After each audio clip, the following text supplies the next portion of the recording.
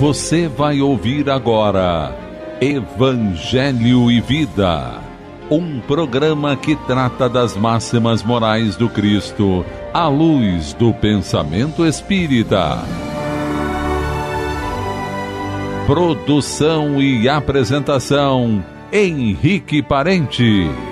Amigo ouvinte, é com muita alegria que mais uma vez aqui nos encontramos aos microfones da Rádio Rio de Janeiro, a emissora da fraternidade. Junto a esta oportunidade das reflexões tão necessárias em nossa existência a respeito dos ensinamentos de Jesus. Eu me chamo Henrique Parente e esse é o programa Evangelho e Vida. E através dele, vamos tendo contato com as orientações que podem modificar completamente a nossa vida, ou melhor, que modificam a nossa vida à medida que a gente as compreende, mas principalmente as pratica. Como ensina nosso querido Allan Kardec, lá no finalzinho da introdução do Evangelho segundo o Espiritismo, quando nos revela né, a grande tarefa do trabalho em si, da obra que ele estava apresentando a partir dali, que é importante que nós pratiquemos o Evangelho.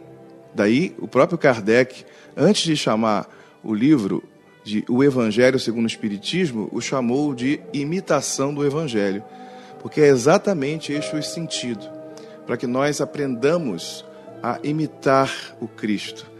Nos coloquemos na situação de observar os ensinamentos e aplicar na nossa vida, para que um dia possamos, triunfando das dificuldades, superando todas as situações que nos impedem de compreender e de vivenciar, e ter uma noção mais profunda e exata da nossa verdadeira natureza, que é a natureza espiritual.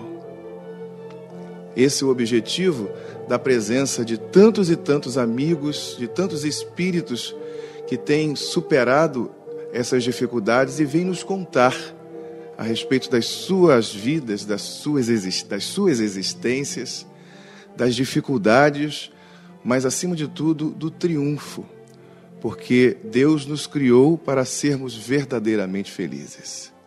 E o tema que nos cabe nas reflexões do dia de hoje consta em O Evangelho segundo o Espiritismo, logo no capítulo 2, com o título Meu reino não é deste mundo. Uma frase que Jesus disse a respeito dessa sua né, iniciação aqui no mundo, junto a todos nós, há dois mil anos atrás, onde a gente vai percebendo que, ele, que nele existe uma realeza. E ao ser questionado por Pilatos, ele revela essa situação. Mas antes de qualquer comentário, vamos ler um pouquinho desse início desse capítulo, exatamente o texto que consta em um Evangelho segundo João, capítulo 18, versículos 33 a 37.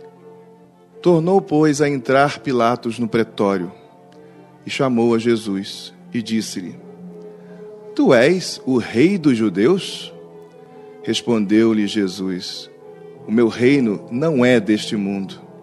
Se o meu reino fosse deste mundo, certo que os meus ministros haviam de pelejar para que eu não fosse entregue aos judeus. Mas por agora o meu reino não é daqui. Disse-lhe então Pilatos: Logo, tu és rei? Respondeu Jesus: Tu dizes, eu sou rei. Eu não nasci nem vim a este mundo senão para dar testemunho da verdade.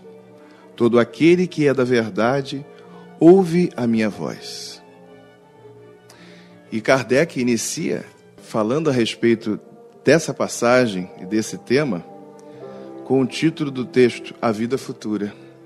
Logo no iníciozinho diz o codificador: Por estas palavras, estas que acabamos de ler no Evangelho segundo João, Jesus se refere claramente à vida futura, que ele apresenta em todas as circunstâncias como o fim a que se destina a humanidade e como devendo ser o objeto das principais preocupações do homem sobre a terra.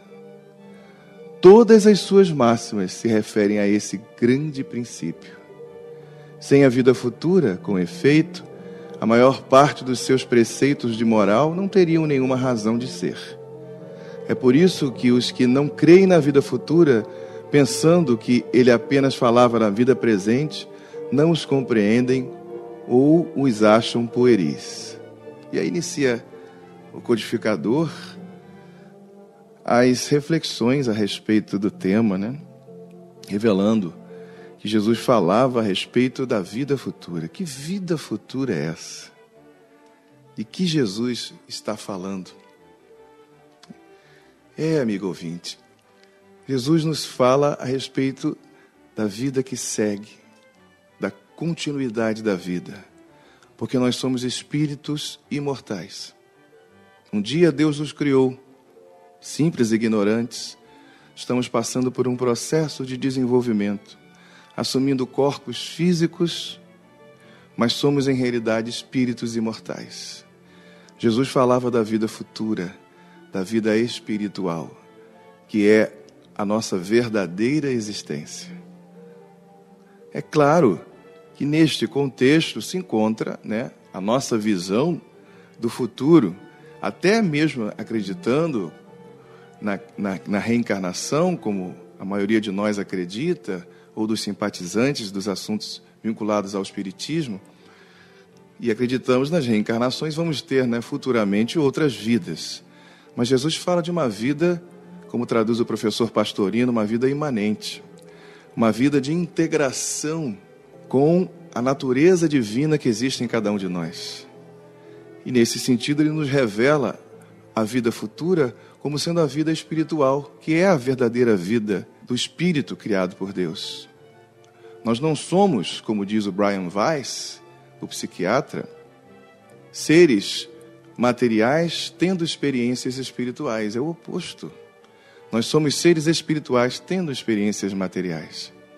Porque essas experiências têm um fim, têm um objetivo, que é fazer a gente entender, compreender qual o nosso papel nessa história toda. Quando olhamos para Jesus, vemos nele o modelo, o arquétipo humano, aquele modelo a que nós, todos, todas as pessoas, um dia conquistarão a mesma estatura, um ser identificado com o próprio Criador, aquele que compreende a vontade de Deus e a vivencia. E entendemos que quanto mais evoluído o ser se encontra ou alcança, né, uma evolução maior, mais feliz ele é. Porque aqui na Terra, em mundos como o nosso, podemos ser felizes? Sim, podemos, mas dentro dos limites que nos comporta esse estado. Já lá aquelas questões 920, 922 do Livro dos Espíritos, por ali, nos revela que a felicidade é possível aqui na Terra tendo a consciência tranquila, a posse do necessário e a fé no futuro. Então, nós, como seres espirituais que somos, à medida que vamos entrando na compreensão e vivenciando em nós essa compreensão da verdadeira natureza do homem, do ser que somos, a felicidade cada vez fica maior. Mas até alcançarmos uma felicidade plena, Aí vamos nos despojando de todo o envolvimento com a materialidade e com a incompreensão do real sentido da vida. Nós estamos numa experiência física, assumindo uma personalidade, um nome, uma história, um trabalho, paixões e tudo isso. E é a partir dessas experiências que vamos conquistando né, a, a a, a compreensão maior a respeito dessa natureza divina. Porque nós somos filhos de Deus, como disse Paulo de Tarso certa vez, herdeiros e co-herdeiros de Cristo, dessa natureza crística dentro de cada ser humano. Esse capítulo é muito interessante porque ele fala vinculado totalmente a essa questão da vida futura. Temos vários temas aqui, que não vamos necessariamente lê-los, né? Mas eu guardei em especial o último texto, onde encontramos nas instruções dos Espíritos uma comunicação de uma rainha, uma rainha de França, onde ela nos, ela nos relata né, a sua situação após a desencarnação. E isso faz a gente pensar né, o tipo de vida que a gente escolhe para viver, as nossas relações com o nosso semelhante, as nossas relações com, a, com as coisas que estão em torno de nós, se nós é, utilizamos as coisas ou as coisas se utilizam de nós, porque temos muitos apegos. A nossa noção de espiritualidade ainda é muito pequena. E não é difícil que nos envolvamos é, em termos de relacionamento com as coisas mais do que elas realmente merecem. E assim com as posses, né, com o dinheiro, com todos os bens possíveis, mas também as relações com as pessoas, a maneira como nós lidamos com elas, a maneira como nós as tratamos. E, e a, a par disso, vamos construindo uma maior ou uma menor felicidade, desde a vida atual mas alcançando no processo natural da desencarnação e nos encontrando vivos do lado de lá, no chamado além, vamos depararmos-nos com a vida ou com a, com a consequência da vida que levamos durante essa existência terrena. E isso é muito importante. Compreendendo melhor isso, podemos construir e reconstruir uma vida melhor, para que no futuro a felicidade seja mais ampla, seja consciente, não na posse das coisas, mas na nossa relação com as coisas. E pouco a pouco vamos nos desprendendo. Então, diz a instrução que Kardec colocou aqui nesse capítulo, com o título de Uma Realeza Terrena. Quem poderia melhor do que eu compreender a verdade destas palavras de nosso Senhor. Meu reino não é deste mundo. O orgulho me perdeu sobre a terra. Quem, pois, compreenderia o nada dos reinos do mundo, se eu não os compreendesse? O que foi que eu levei comigo da minha realeza terrena? Nada, absolutamente nada. E como para tornar a lição mais terrível, ela não me acompanhou sequer até o túmulo. Rainha eu fui entre os homens. E rainha, pensei chegar ao reino dos céus. Mas que desilusão! E que humilhação, quando em vez de ser ali recebida como soberana, tive de ver acima de mim, mas muito acima, homens que eu considerava pequeninos e os desprezava por não terem nas veias um sangue nobre.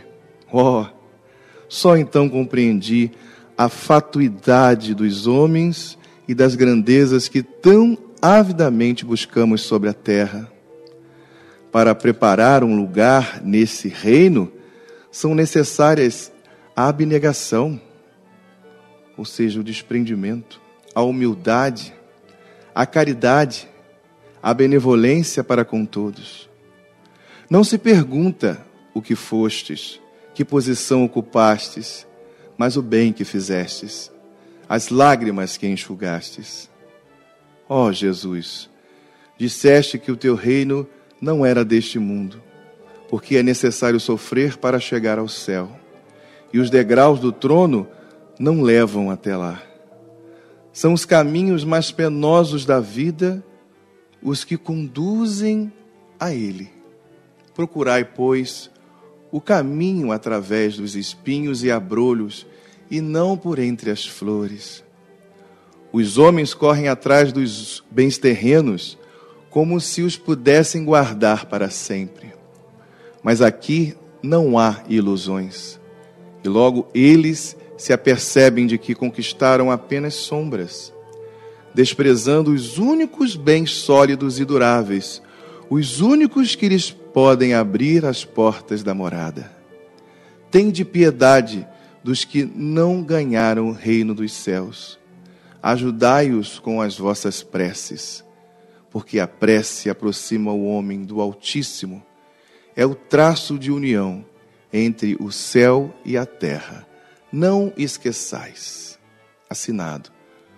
Uma rainha de França. Havre, 1863. E aí termina é o último texto né, dessa essa comunicação. É um relato vivo de alguém que está tendo o, o cuidado, o carinho, o zelo de falar daquilo que viveu, daquilo que sentiu após a desencarnação, na chamada vida futura, a vida após a morte. E como essa pessoa, essa rainha, chegou na vida espiritual, sem nada, porque nada construiu de sólido nas relações. Ela diz que é preciso sofrer né, para ganhar a felicidade, coisas do tipo.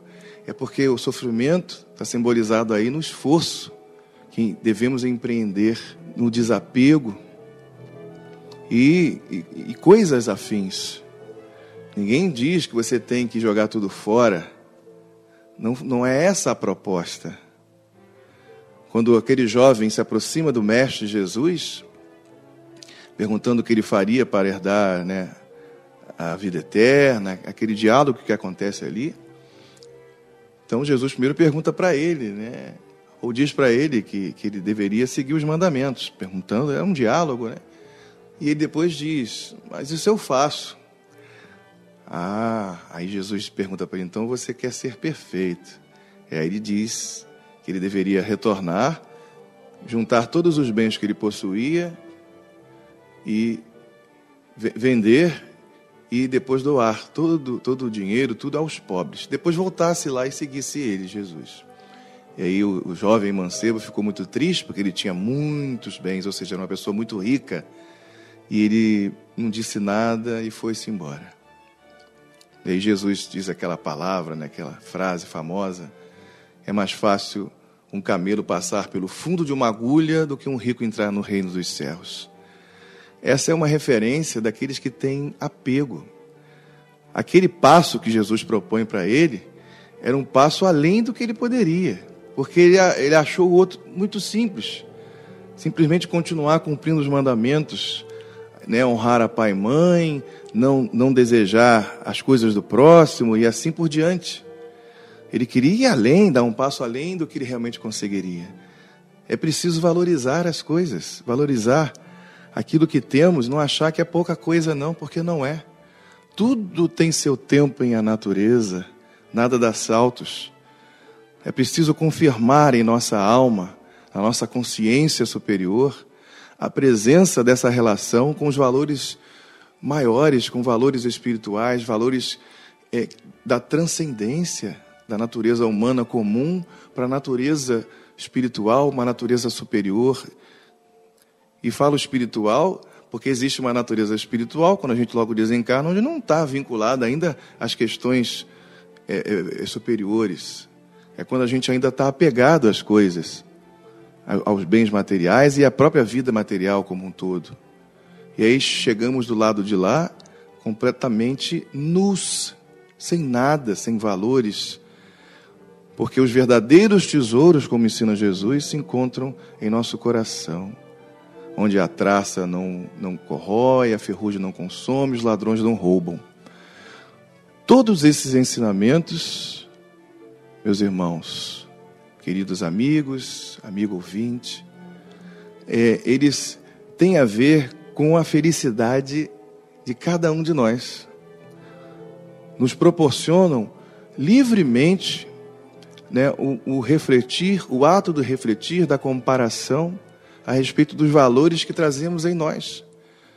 Como anda a nossa relação com os nossos semelhantes, até mesmo com os nossos desafetos sejam eles diretos ou indiretamente, pessoas que a gente não conhece né, pessoalmente, mas temos por elas sentimentos ruins, negativos. Vivemos uma época de muita violência, estamos mergulhados numa pandemia onde há um grande desrespeito acontecendo da parte de muitas pessoas, onde há uma grande ansiedade dominando a consciência das pessoas e alterando o seu comportamento uma ansiedade nesse aspecto nociva, porque existe a ansiedade que é positiva, que é aquela que nos mantém em pé, nos faz movimentar e buscar as coisas, e, mas tudo tem um limite.